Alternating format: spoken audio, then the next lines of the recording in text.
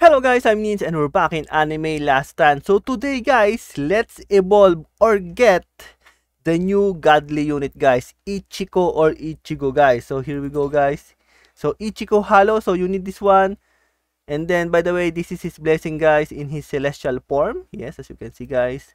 So let's go guys. Let's evolve him.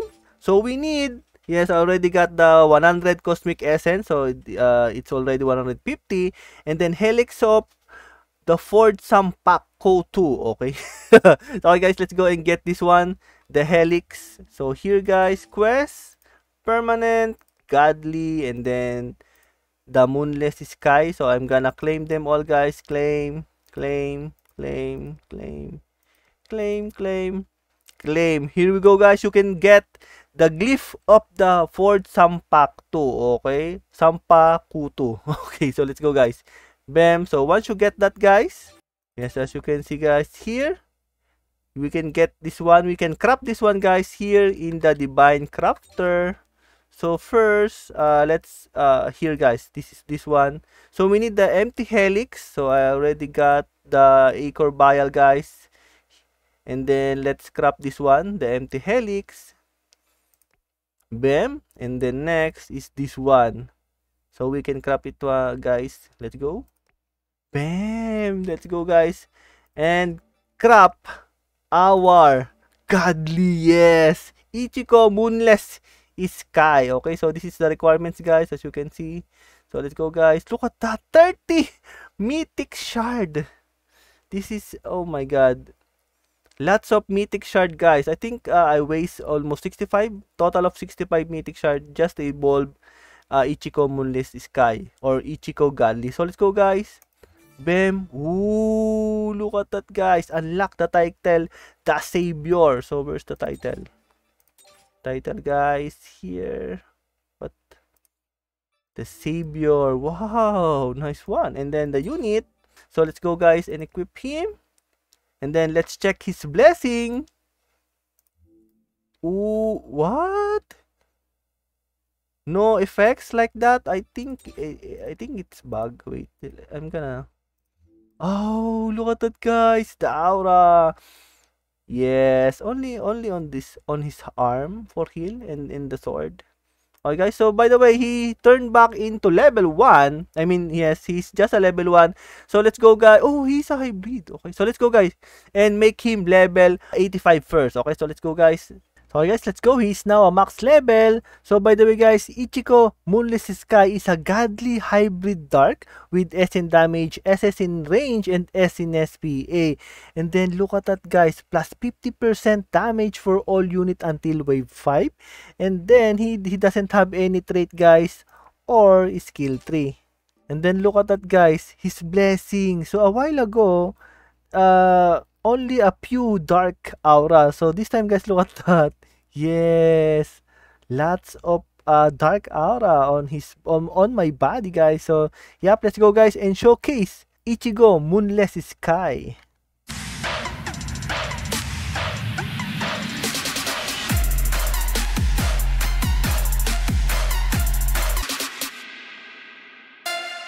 He's using a wide line guys and then you need 650 only for placement guys and then yes he is using a black flame guys okay and then his passive 10% damage and plus 5% crit chance for all units in range okay so in range for real okay so oh there you go guys 10% damage and then range within his range okay so let's go guys for initial damage guys he got a 61k and then 293k flame da uh, black flame damage and then 32.9 range and 3.63 SPA. Okay, so let's go for the next upgrade. It's gonna be Crescent Moon Dash. Okay, so let's go. Bam. Okay, so this time guys, he changed into a with circle and a total damage guys of 903k and 4.33 M black flame damage and then 39.5 range and 6.36 SPA. Okay, so let's go for the next upgrade.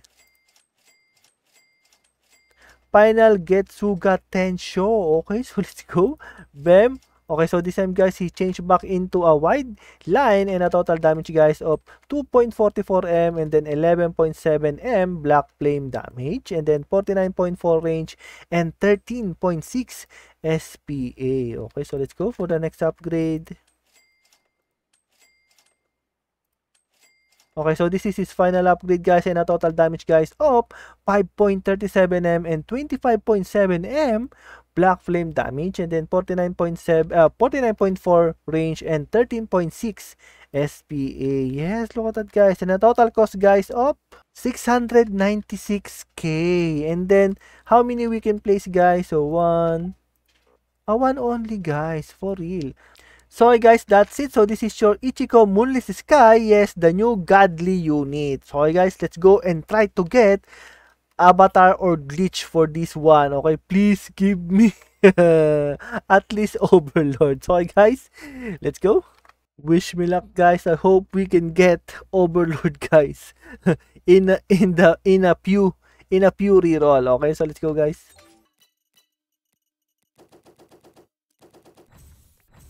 Entrepreneur, oh my god, for real.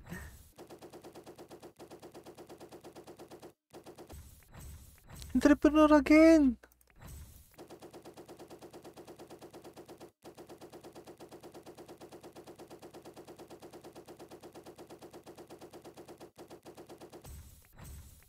All see what the hell? Two times all seeing. Did you see that guys? For real? What? Oh, so guys, I'm gonna take it. So let's go guys and showcase Ichigo. Ichigo Moonless Sky with Overlord. For initial damage guys, he got a 320k, 1.53m Black Flame damage, and then 39.5 range and 3.09 SPA. Okay, so let's go for the next upgrade. Crescent Moon Dash. Okay, so let's go guys. Bam. And a total damage guys of 4.74M and then 22.7M Black Flame damage and then 47.4 range and 5.41 SPA. Okay, so let's go for the next upgrade.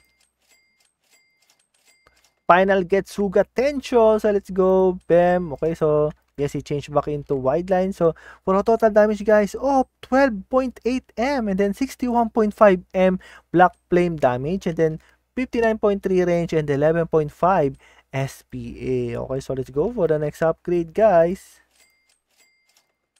Okay, so this is his final upgrade, guys, and a total damage of 28.2 M and then 135 M black flame damage. What the hell? And then 59.3 range and 11.5 SPA. The damage of black flame. For real? So okay guys, that's it. So this is your Ichiko Moonless Sky with Overlord. Yes, the new godly guys in this update. Okay guys? Later.